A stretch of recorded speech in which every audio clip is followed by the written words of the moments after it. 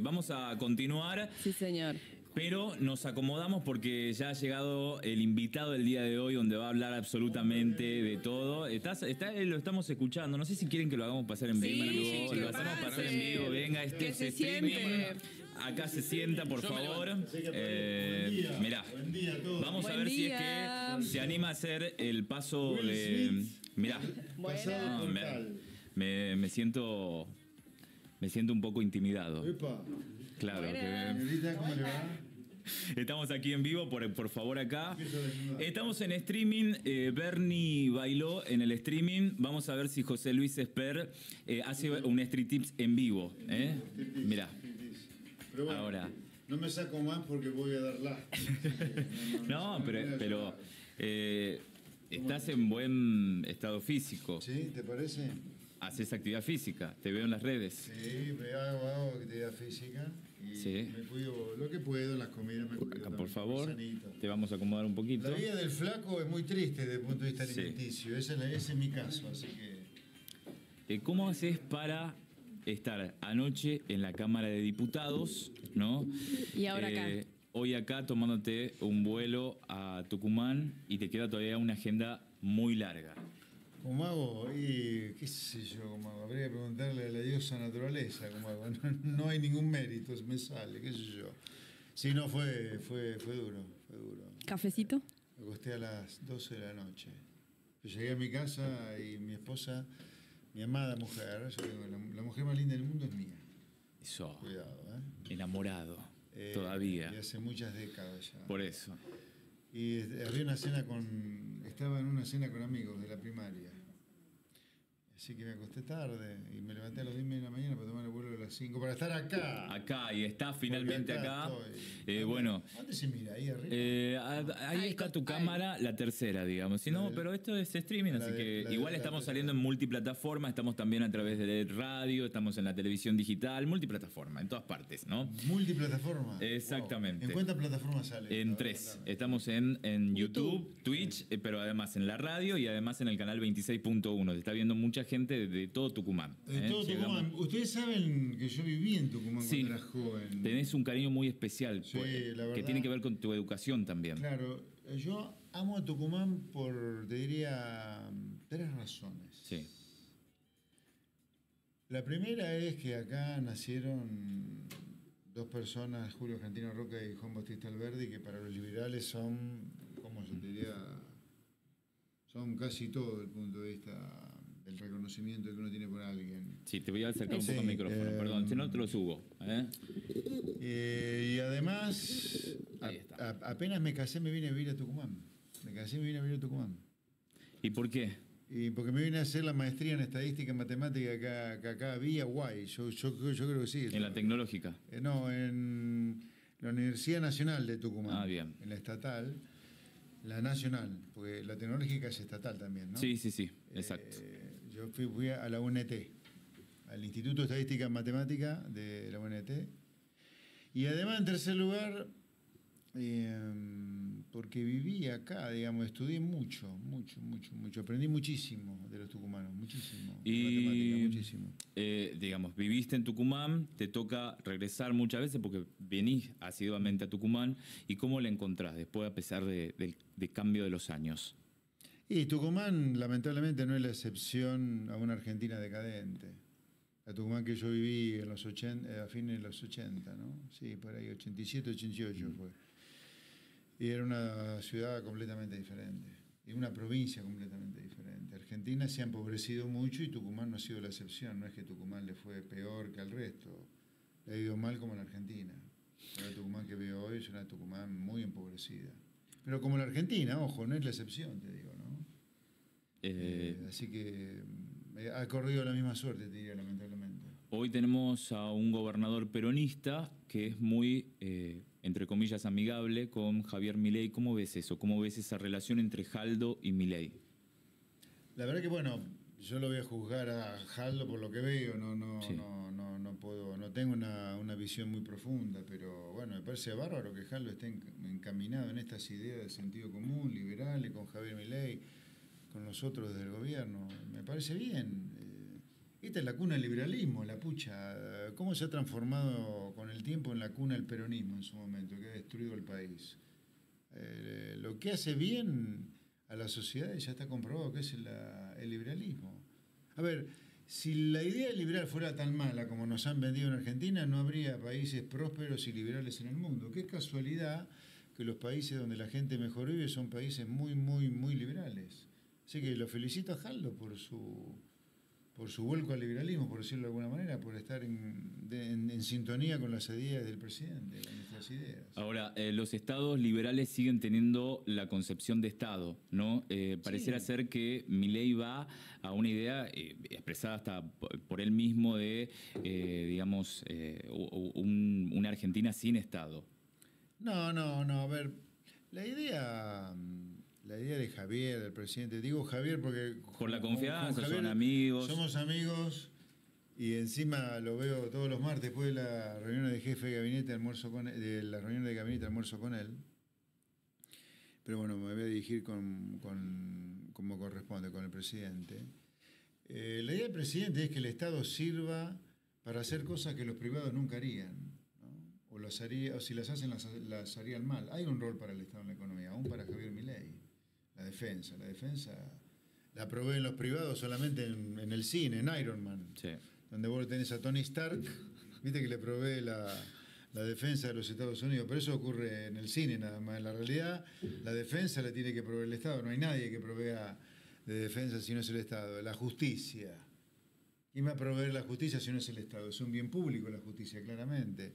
Y así con muchas otras cosas. Y aparte, el monopolio de la fuerza siempre lo tiene el Estado. Además, bueno, lo que no queremos los liberales, que repito, hoy presidido por, por Javier Milei, es que se usa el Estado con fines para currar a la gente, para delinquir, para robarle la plata a uno y esclavizar a los otros, como ha pasado en Argentina, ¿no? Y como pasa en Argentina todavía. Todo, todo ese Estado todo ese Estado se va a eliminar. Nosotros vamos a poner un Estado que le sirva a los argentinos, que le dé educación básica, salud básica, que haga mínimas obras públicas, que le dé algo de defensa, seguridad, pero el resto se tiene que terminar todo el curro el curro vinculado con infinidad de cosas, infinidad de cosas. Eh, esta semana pasó la marcha universitaria. ¿Qué evaluación haces una vez que ya bajaron, bajó la espuma, digamos? ¿Qué ha dejado? Bueno, ¿qué ha dejado? ¿Qué sé yo? ¿Qué te diría? Yo creo que es una a mí me hubiera gustado ver a todos estos que marcharon antes de ayer, eh, marchando cuando las pruebas PISA, donde no había plata, dando vuelta, marcaban que la educación primaria y secundaria estaba destruida en Argentina. Acá ha habido sin duda algo por gente de buena fe equivocada y algo de manipulación por parte de gente grande que maneja negocios adentro de las universidades. De las universidades tienen tres gastos grandes. Salarios 90%, 5% gasto de funcionamiento y 5% que son actividades bastante que tienen que ver con negocios, algunos negocios lícitos, pero del cual detrás siempre hay algo de clientelismo y eso es lo que ha fogoneado la, la, marcha. Y después ha ido gente detrás de eso creyendo que Milei quiere terminar con la educación pública, lo cual está muy lejos de las decisiones del presidente o, de nosotros como gobierno, porque yo me considero parte del gobierno. Está muy lejos de... Creo que la educación pública superior es un valor, la educación primaria y secundaria también son un valor. El Estado tiene que estar proveyendo educación primaria y secundaria porque tiene externalidades enormes, enormes para la sociedad. Y nadie está pensando en terminar con la educación universitaria. A ver, el año pasado la universidad recibió cerca de 2,5 billones. Este año van a recibir casi el doble. Así que nadie está pensando en terminarla. Sino simplemente es, che, rindámosle cuenta a los ciudadanos de dónde está el gasto en educación. Porque yo te digo, yo fui profesor universitario en la Universidad de Buenos Aires, a mí nunca me pagaron sueldo. Sin embargo, la partida de sueldo ocupa el 90% de la partida de, de gasto universitario. ¿Dónde va la plata? ¿Quién es el profesor que está cobrando por mí o por... A ver, yo hoy, ya, ya no doy clases en la universidad estatal, pero hoy yo sé de muchísima gente que da clases gratis en la universidad. ¿A dónde va la plata de, salario? ¿Por qué no auditarlos entonces? Porque te cuento. ¿No se supone que está la Auditoría General de la Nación para ejercer ese rol? Sí, pero la Auditoría General de la Nación lo que audita es: vos mandás 100 para salario, ok. que la universidad cuando te dice salario, diga salario. Pero nosotros sabemos que no todos los salarios van a salario. O por lo menos no va a todos los profesores, porque hay algunos que cobran un montón y otros que no cobran. Acá los profesores tienen que cobrar todos. ¿Qué es esto de cómo la educación eh, sale del corazón de uno, tiene que ser un sacerdocio por el cual no te pagan? No, la educación hay que pagarla. ¿O no sale plata la educación? por supuesto. No sale gratis educar, no sale gratis la salud. Todo cuesta plata, y mucha plata. Y la salud, por ejemplo, cuesta muchísimo dinero. Entonces, no le mintamos a la gente diciéndole que las cosas pueden haber cosas gratis. No hay nada gratis en la vida, todo cuesta. El tema es quién lo paga. ¿Estamos de acuerdo? Que eso es otro tema, ¿no? Es otro tema. ¿Estamos de acuerdo que hay gente de clase media que podría pagar la universidad para gente que no tiene recursos sea becada para poder estudiar? Yo sí, yo estoy de acuerdo con que haya gente de clase media que puede pagarse la universidad, que pague para que un chico pobre que desde el punto de vista del coeficiente intelectual pueda estudiar, no lo puede hacer porque no tiene plata para viajar a, Tucumán, para viajar a Córdoba, para viajar a Buenos Aires. Pero yo, esa es otra discusión, ¿no? No, que no tiene que ver con esta de los fondos. Pero yo quiero que los pobres puedan estudiar. Gente que no tiene recursos para estudiar y que no estudia porque no tiene una beca que sí podría pagar una persona de clase media yendo a la universidad pública. Es otra discusión. Eh, otra discusión que se vio saldada o no, te la pregunto, fue finalmente el acuerdo, el dictamen que han llegado en el día de ayer para que a partir del lunes el Congreso, la Cámara de Diputados, empiece a tratar la ley base, ¿no? ¿Qué ha quedado finalmente? Porque algunos dicen, bueno, pero ha quedado algo chiquito, algo reducido. A ver, em, para que la gente entienda, cuando ustedes ven por la televisión, viste que se ve el gran pleno de la Cámara de Diputados, todo discutiendo, es porque, siendo muy grosero, ¿no? Sí, sí, sí. Previamente hubo una aprobación de esas mismas leyes en un lugar más chiquitito, que se llaman comisiones. Pero nunca se llega a ese lugar grandote sin antes pasar, por comisión. Entonces, para que la gente entienda, cuando ustedes ven por la tele el gran pleno ese de 257 personas discutiendo, es porque hubo una previa aprobación en comisión de esos proyectos de ley. Lo que ayer pasó fue eso, tanto con eh, la ley bases como con el paquete fiscal. Es cierto, no es todo lo que queríamos, pero que lo máximo que se pudo lograr. En democracia hay que saber negociar para que te puedan aprobar las leyes. O sea, eh, hubo un triunfo por ahí del sindicalismo que por ahí buscaba, o, mejor dicho, lograron sacar. ¿Ustedes querían una ley más, más dura o no? Antes sí, de continuar, ¿querés un café o no? Sí, denme algo. Un café, por me estoy Quedando, me estoy quedando sin combustible, me estoy quedando sin combustible. Algo, ¿eh? para, para, antes del café, mientras viene el café, no me quiero olvidar. Sí. Yo estoy en Tucumán sí. por una cosa. Por supuesto, hoy todo el día el FENOA. El FENOA. Gracias a José Guillermo Godoy. Organizado por la Fundación Federalismo y la Libertad, que la preside ese gran santiagueño que importó Tucumán llamado José Guillermo Godoy y su bellísima y excelente colaboradora Denise, Brodersen. ¿Lo dije bien? Como siempre, sí, por supuesto. Y yo estoy acompañada por. Pero no sé si es tan bueno, José, si te llevó a comer lomitos o no en su, en su ciudad natal. ¿Ella? E, él. Eh, claro, en, Santiago del Estero estábamos hablando de los lomitos. ¿Ya lo llevaste o no a comer un lomito en Santiago del Estero? Sí, dice. mira, me llevaste en carajo a comer lomito. No, no le mientas acá a los chicos. Que me dijiste un lugar. ¿Cómo se llama el lugar de Santiago del Estero donde se come buen lomito? No, lo tengo, lo tengo por acá. Pero ni eh, debe decir, si este, este viaja a Malibú, este, este, pero este ya de Santiago no tiene nada, este es un ciudadano del mundo. Mirá, mirá el Instagram que tiene. Claro. Malibú, Taiwán. Eh, no sabe lo que es Santiago Letero ya. Recién llegado a la Argentina, eh, Muchas gracias. Este, Muchas gracias. Pero bueno, ahí, está. Recién llegó a la Argentina, ¿viste? Recién llegado a la Argentina. Se lo pasa paseando. Este, es así, estoy buscando porque sí lo tengo por acá, él me tiró un dato, no importa. José Luis, eh, entonces. Hoy estamos acá por FENOA, Federación sí. de Libertad. ¿Estamos? Va a estar Guillermo Francos, eh, va a estar también Osvaldo Jaldo ahí, eh, Carolina Lozada, bueno, ahí hay de todo, digamos, Carlos Pañi. Este, ¿Qué ha quedado de Juntos por el Cambio? ¿Nada? Pues nada, quedó. ¿Mi ley se los comió? No, no, mi ley no se lo comió, se lo comió el liberalismo Se lo mi- Milei no come. eh, por lo menos no come personas. No, no, el liberalismo. La, verdad es que hay una nueva grieta, que es eh, liberalismo, sentido común. Hoy claramente eh, Milei es la figura más, más saliente de esa movida, contra los orcos del otro lado ha quedado la izquierda y el kirchnerismo.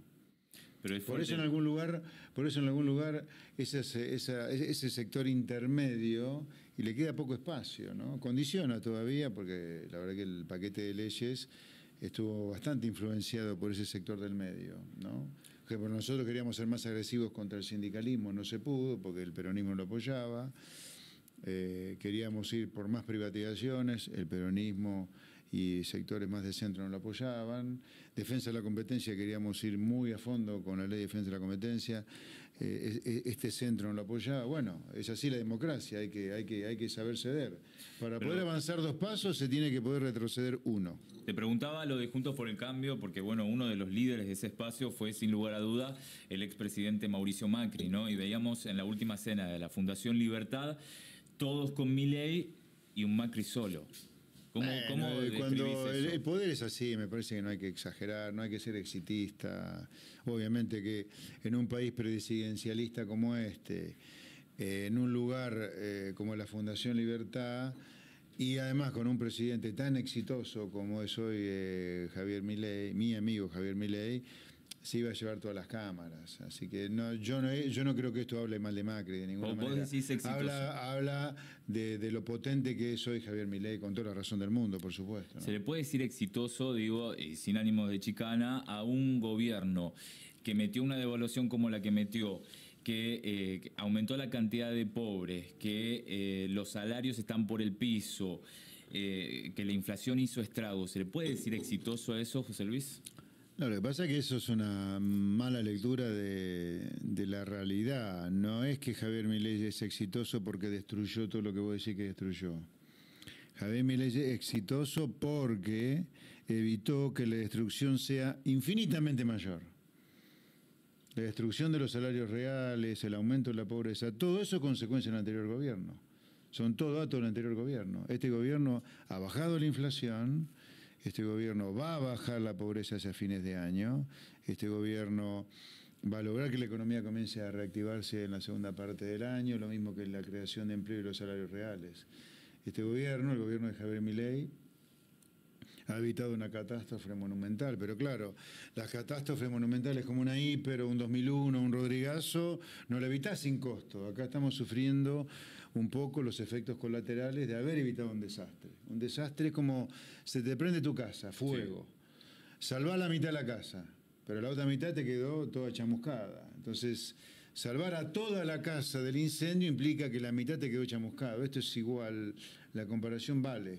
¿Hay efectos colaterales de haber evitado la hiper? Sí que hay efectos Y colaterales. ahora, ¿cuándo va la gente a ver? eh, digo, te está viendo mucha gente, a nosotros nos ven mucho de, de distintos departamentos de Tucumán, no me gusta decir interior, de otros departamentos, de fuera de las cuatro avenidas. ¿Por qué, por qué- Eh, por qué no te gusta decir el interior, interior? Me, me parece un poco, mm, no sé, eh, es como... Es una cuestión personal, digamos. ¿Ah, sí? Sí, eh, bueno, independientemente de eso, y, y que te dice, bueno, ahí está hablando Esper, Esper, eh, ¿cuándo yo voy a sentir la recuperación en el bolsillo? ¿Cuándo voy a poder vivir mejor? Yo creo que la segunda parte del año va a ser mejor para la actividad económica y para, los, para el empleo y los salarios reales. Eh, ahora estamos encontrando un piso, ya un piso clarito con la inflación. Vamos a. Perdón, estoy lejos, ¿no? Sí, sí, está. Eh, estamos encontrando un piso para la inflación en un dígito ahora en abril o mayo como tarde.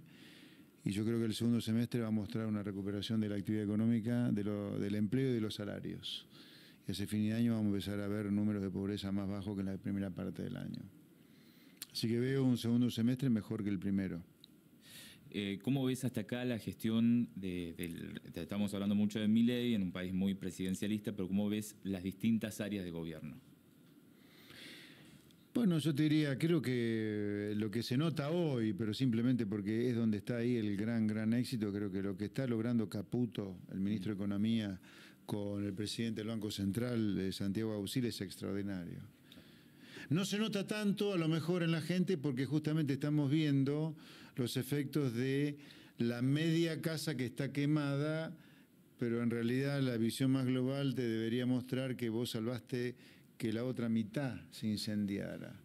Pero lo que está haciendo Caputo y Santilli y, Bausili Perón es extraordinario. Eh, han logrado evitar la hiper, están bajando la inflación, eh, estamos yendo a cero déficit fiscal desde el primer día de gobierno. El Banco Central está logrando bajar la inflación eh, con tasas de interés reales negativas, está recomponiendo las reservas, la verdad es impresionante. Ese es el, ese es el lugar donde más me impresiona lo que se está logrando. Y mira que como economista, ¿no? Me puedo decir, Sí, ah, sí. flauta. Qué, qué- qué cambio de sintonía, qué viraje de 180 grados exitosísimo. Antes estaba el kirchnerismo y, y decías, todo, todo eso estamos viviendo por el resultado del gobierno anterior. En ese contexto, mañana reaparece Cristina. ¿Qué, qué opinás? El regreso de los muertos vivos, eso es lo que me lleva a Cristina. La detesto a Cristina, la detesto porque la detesto toda, la detesto completa. Completa porque porque ha transformado a la Argentina en una villa miseria y logró el objetivo de transformarnos en pobres, indigentes, ignorantes, brutos. Es, es lo peor que nos pudo haber pasado en la historia democrática es el kirchnerismo. Y Cristina, como sobreviviente de ese matrimonio fatal desde el punto de vista político que han sido ella y su marido, sí, la detesto. La detesto por lo que ha hecho con el país. No, no como, no, no, No en lo es personal. personal, no, no, digamos. eh, detesto lo que ella representa. Ha transformado a la Argentina en una villa miseria. Lo logró. Nos embrutó, ha destruido la educación, ha destruido los valores. La Cámara de Diputados no sabe lo que es. Un simio drogado, parece. Una cosa. Ayer las discusiones en, en las comisiones fue de un nivel tan deplorable, tan deplorable, tan deplorable. No. En general, Eh, no salvo algunas excepciones de los de bloques como el PRO, la UCR, la coalición cívica, eh, Hacemos, Innovación Federal, toda esa gente sí tiene que decir algo, pero lo que es el kirchnerismo y la izquierda. Dios mío. Eh, estás en Tucumán, justamente hoy se realiza el Foro Económico del NOA organizado por la Fundación Federalismo y Libertad y seguramente hoy te vas a cruzar con muchos opositores al gobierno provincial, ¿no? De Juntos por el Cambio, de Fuerza Republicana. ¿Qué visión ves? Yo sé que estás viniendo y vas a decir, bueno, pero yo no estoy todos los días acá, pero de, de lejos, ¿qué ves? No, a ver, yo de lo que sí veo de lejos, de lo que puedo opinar con algo, Sí. algo de criterio sobre lo que se ve de lejos, es eh, un gobierno tucumano que hace honor a que en Tucumán nacieron próceres como Julio Argentina Roca y Alberdi. Y puedo hablar de Jaldo, no de la oposición, la verdad. Me parece muy bien lo que está haciendo Jaldo. Me parece muy bien hasta ahora. No tengo más que palabras de felicitaciones para él. Y más viniendo del palo del que viene, ¿no? Espero que, espero que sea una auténtica conversión a las ideas liberales y no una epifanía que dure un tiempo nada más, no simplemente porque conviene hoy. Porque la, como, como demuestra el mundo ¿no? y como demuestra nuestra historia, eh, la solución para los países es la libertad. Con libertad te puede ir bien o mal, sin libertad seguro que te va mal. ¿Cómo ves la proyección de cara al próximo año, que es un año electoral, donde hay renovación en las legislativas? ¿Qué tiene que hacer el espacio de la libertad avanza y Juntos por el Cambio? ¿Tienen que ir a una coalición o no? Sí, a ver, yo no tengo duda que no podemos repetir, no sé, tomo la provincia de Buenos Aires como Sí. ejemplo de lo que no hay que hacer, ¿no? En la provincia de Buenos Aires fuimos separados, la libertad avanza y cambiemos. ¿Quién ganó? Kisilov. Kicillof, un impresentable. Eh, así que claramente el año que viene tiene que haber un vehículo que nos ponga juntos, no puede volver a repetirse de ir separados. Claro. De ninguna manera. Tenemos que ir tanto el PRO, más que cambiemos el PRO, probablemente cambiemos ya no exista más. Recordemos que cambiemos era la suma de, o la confluencia de PRO, UCR, Coalición Cívica y el Encuentro Republicano Federal de Pichetto. Esas cuatro. Eso, eso ya no está más, ya no funciona. Vos ves en el Congreso, Sí. el PRO está junto con nosotros, eh, los liberales, y tenemos. eh, se ha recreado un espacio de centroizquierda, al menos en la Cámara de Diputados, que está formado por Hacemos, Coalición Federal, Innovación Federal, la Coalición Cívica y el Radicalismo. Tenés cuatro espacios ahí dentro de ese espacio de centroizquierda, y del otro lado tenés a, a los orcos, tenés a la izquierda y al kirchnerismo. Pero se ha recreado un ¿Y, bloque y del a dónde lo medio. metes a los radicales? Decís, bueno, No, no, no, los tenemos- radicales están en este centro Pero izquierda. digo, para el, para el año que viene, vos decís, te- por lo menos la libertad No, yo no creo y el que- PRO tienen que hacer una, una Sí. unión. ¿Y a dónde lo metes a los radicales? No creo que los radicales estén con el liberalismo. Los radicales yo veo que no votan con nosotros todas las cosas, votan algunas cosas. No, no, no. Yo creo que hay poco espacio. A ver, más allá de lo que quieran hacer, yo creo que hay poco espacio para estar eh, por afuera de lo que es kirchnerismo más izquierda y el liberalismo. Está, hay una nueva polarización, si vos crees. Antes era kirchnerismo cambiemos, ahora ese, ese lugar de que ocupaba Cambiemos antes, claramente lo ha ocupado el liberalismo, liderado por Miller, obviamente, como presidente de la Nación. Así que no, no me parece que haya mucho espacio por afuera de esa grieta que es el kirchnerismo más su furgón de coro a la izquierda y los liberales de la libertad avanza, más el PRO, ponele. De una. Y la última, porque sé que tenemos una agenda bastante movida, eh, y esta es personal, ¿no? Pero política al mismo tiempo. ¿Te gustaría ser presidente en algún momento? Sí, sí, sí, pero te voy a decir por qué. Sí. No porque me interese en sí la banda o el balcón, sino porque quiero ser eh, cada vez más determinante en el proceso de cambio hacia el liberalismo que Argentina está haciendo. Arranqué como diputado en el 21, mi aspiración es renovar en el 25 alguna posición ejecutiva claramente en el 27 y continuar creciendo políticamente hablando. Sí, sí, ahora, ahora me gustaría, te diría, porque veo, veo, le veo la pata a la sota esto de, cambiar a la Argentina, ¿no? Gracias, José Luis. Un placer. ¿Eh? Buenos días. Gran saludos a todos. Gracias. José Luis Esper pasó en el mano a mano acá en Tucma TV. Nos seguimos acomodando un poquito. Hasta las 11 estamos haciendo esto que es Está todo bien.